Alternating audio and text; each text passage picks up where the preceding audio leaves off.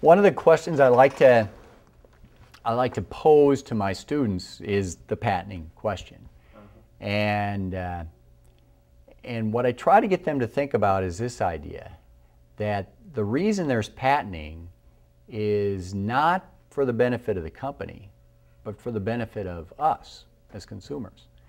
That the patents are there for us. Now, and that, that seems to catch them off guard, but, but the reason there's patents is so that a, a company feels like they can pursue a new idea and create a product from it, and that's where we would benefit.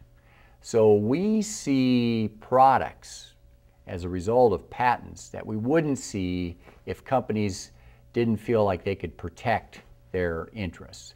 They would be probably more conservative in developing new products uh, because if, if they invested in, in a, something new and somebody who didn't invest could then capitalize on that, uh, they wouldn't see uh, any profit from it. And so really I think patenting is, is what drives this country's innovation and new products, and we all benefit from that.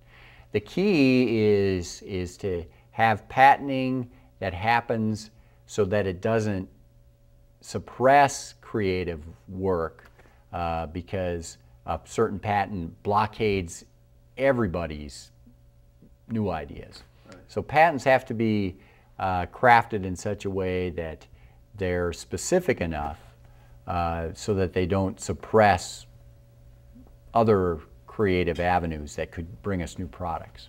So corn breeding companies will, will do their discovery of the parent lines that don't have these patentable genes.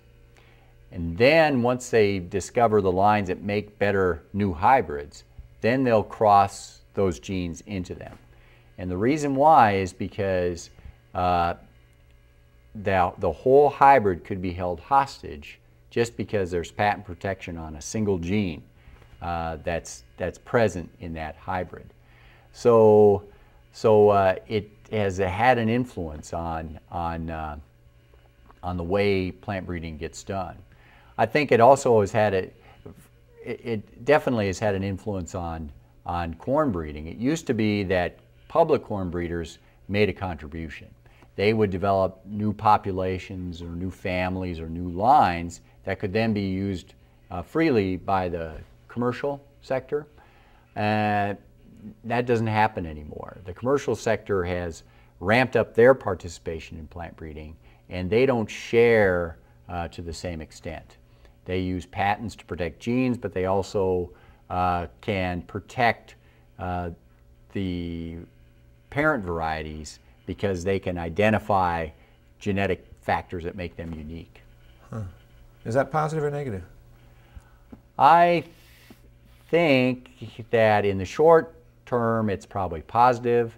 In the long term, I think we're going to see some consequences in that. That uh, I think balance is the key. I think if you have the public sector actively involved in some things, uh, that for, for number one, we'll, we'll bring more new people into the plant breeding enterprise.